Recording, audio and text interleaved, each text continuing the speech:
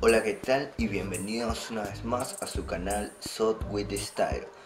Como ya vimos abajo, tenemos un nuevo tema. Antes de empezar, quiero contarles sobre la didáctica. Ya no tenemos el pizarrón, pero igualmente vamos a usar las preguntas Encontremos los parecidos. ¿En qué se parece un huevo a un puente? Bueno, si tienes la respuesta, puedes ponerlo en la parte de abajo o esperar hasta el final del video y saber la respuesta. Pues bueno muchachos, sin tanto preámbulo, empecemos. Descubriendo el sabor que tendría Hendrik Gin en un mundo paralelo. Ideada por Leslie Gracier, su Master Distiller, y la misma mente inusual que rompió todas las reglas. Pero ¿cuál fue la regla que más repercutió en la coctelería?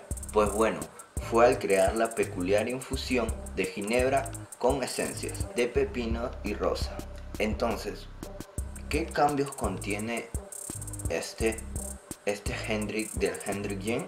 Bueno, Hendrik Orbium tiene los mismos destilados que el Hendrik Gin.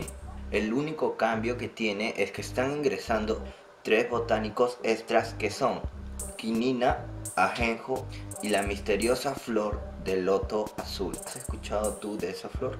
Este trío de peculiar botánicos complementan las esencias ya existentes de Hendrik Gin, pero que nos llevará a profundidades nunca antes exploradas y trasladándonos así a una nueva dimensión de sabores. Pero, ¿qué nos ofrece estos botánicos? La quinina, conocida por sus propiedades analgésicas o también tratamiento para la malaria.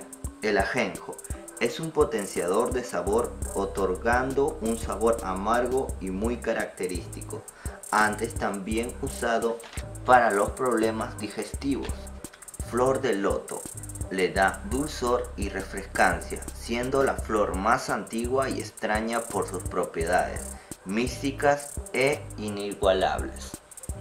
Pero, ¿qué resultados obtendremos? Bueno, obtenemos una ginebra compleja, brillante y cristalina, con un acabado extraordinariamente largo y extrañamente familiar que nos traslada desde lo floral hacia un lugar más amargo y reflejando así un Hendrik en un universo paralelo, pero igualmente creativo, inusual, sorprendente, peculiar y por supuesto con un exquisito sabor. Entonces, ¿cuál sería la mejor opción para acompañar este gin? Bueno, los bartenders recomiendan experimentar este gin con soda o con un mixer que nos lleve fuera de lo normal de un gin tonic. Pero eso sí, no perdamos la ocasión para reinterpretar la hotelería clásica con una nueva expresión con el martini, una Orbium Martini o o una Orbium Martínez, añadiendo licor de marrosquino y vermut dulce con su hermoso twist.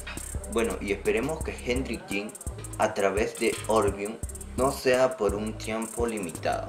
Bueno muchachos, eso fue todo en realidad y espero les haya gustado esta pequeña información de lo que es el Hendrik Gin en un mundo paralelo. Hendrik Orbium. Bueno muchachos, antes de despedirme en realidad quisiera agradecer a Beauty Secret Salon, como ya saben que está auspiciando este canal y que ya somos 200 suscriptores. Y bueno, vamos a seguir creciendo en realidad gracias a ustedes por su tiempo. Y, ah, claro, antes que me olvide, eh, quiero resolver la pregunta, encontremos el parecido, ¿en qué se parece un huevo a un puente? Pues bueno, es sencillo, en que los dos se pasan Ok muchachos, bueno eso fue todo en realidad, ya saben, yo soy Víctor Bellido y esto es Sot with Style. Nos vemos hasta la próxima semana.